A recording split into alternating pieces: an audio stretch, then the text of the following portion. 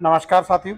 साथियों, इस समय आप अपनी स्क्रीन पर कार्यालय जिला शिक्षा अधिकारी जिला दतिया का एक काफ़ी महत्वपूर्ण पत्र देख रहे हैं, जो कि समस्त संकुल प्राचार्यों के लिए जारी हुआ है। पत्र 31 अक्टूबर 2023 को जारी हुआ है। पत्र जैसे ही जारी हुआ है, इसने अतिथि शिक्षकों की नींद उड़ा दी है। जी हाँ साथियों, इसका विषय यदि हम देखें, अतिथि शिक्षकों के मानदेय भुगतान के संबंध में।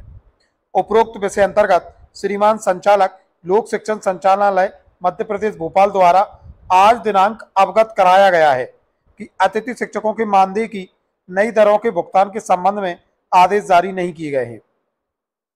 उक्त क्रम में आपको निर्देशित किया जाता है कि आप तत्काल संकुल केंद्रों में कार्यरत अतिथि शिक्षकों के देयक पुरानी दर पर तैयार कर डीडीओ को आज ही तैयार प्रस्तुत करें।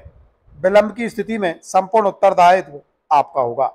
तो साथियों, इस पत्र के क्या कुछ मायने हैं, आप समझ सकते हैं। यानी कि पत्र में की भाषा यदि हम देखें तो इसमें स्पष्ट किया गया है कि श्रीमान संचालक, लोक शिक्षण संचालनालय, मध्य प्रदेश भोपाल द्वारा आज दिनांक को अवगत कराया गया है।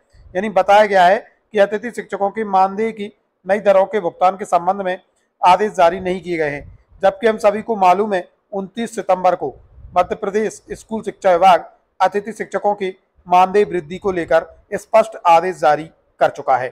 फिर भी इस तरीके से पत्र समझ से बिल्कुल ही परे रहे हैं। हालाँकि कहीं ना कहीं इसने अतिथि शिक्षकों की चिंता बढ़ा दी है। फिर भी हम अतिथि शिक्षक साथियों से कहना चाहेंगे, आपको बिल्कुल चिंतित होने की आवश्यकता नहीं है।